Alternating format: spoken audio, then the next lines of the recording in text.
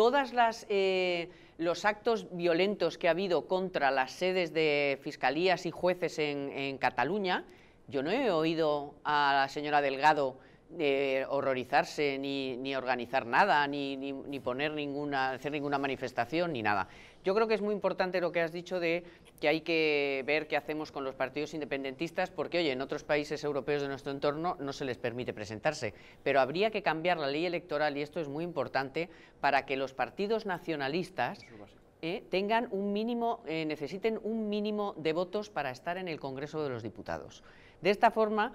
eh, evitaríamos, por lo que hemos visto tantos años, que es que al final necesitas a esos tíos porque tienen la llave de la gobernabilidad de España. Pero dices que cinco diputados están eh, mangoneando a España.